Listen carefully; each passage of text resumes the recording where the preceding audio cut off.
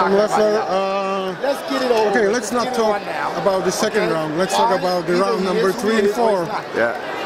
I mean, what's going to be? So, 50, uh, 50 and one. what happened? 60 and one before you know. Big drama show? Triple G. It was, uh, Triple G has less fights than you know, Gennady wants to give people their money's worth, and and uh, Willie came in shape. You, you saw at the open workout, you saw at the weigh-in, he was in tremendous condition, and the way he was able to take Gennady's punches and survive basically for for six rounds, it was uh, tremendous. Uh, it was a testament to his. Uh, his uh, his will to compete, and he kept getting up.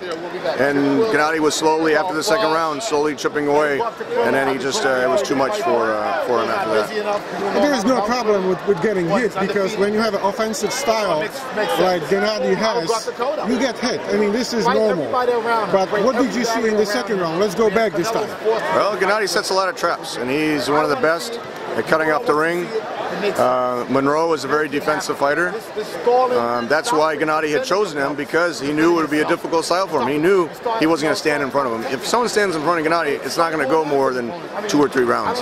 And uh, and Monroe, you got to give Willie a lot of credit with, uh, his speed, you know, his his ability uh, to survive and to box.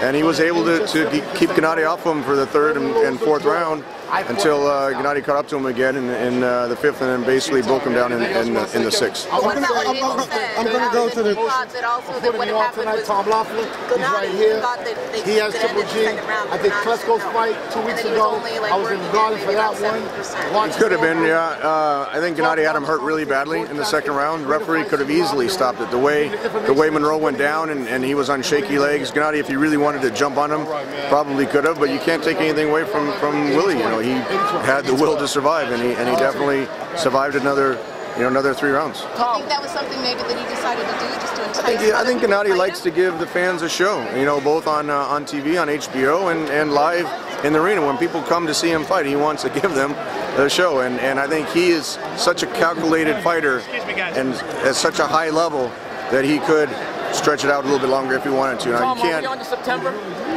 Uh, we'd like to plan the next fight in September, absolutely. Now, Cotto Canelo, are you kind of expecting that to happen? So you guys have to make arrangements with the WBC? Uh, it looks like that's the direction that they want to go into. I mean, Cotto has a tough fight in, in June, and um, you know we're going to keep doing the same formula. We can't wait on fighters. You know, if we waited on Chavez, Gennady still would be waiting, and that fight wouldn't happen. So he's we're, it's my job to put the best fights together.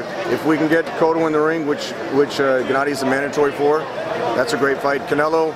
You know, looks like uh, they want to build that fight, which is great. You know, could be uh, next year. You can't force someone to fight right now. So we're going to keep doing what we're doing. You see how the crowd reacts. Crowd reacts because they like Gennady's style. They like the fact that he's fan friendly. They like the fact that he fights often.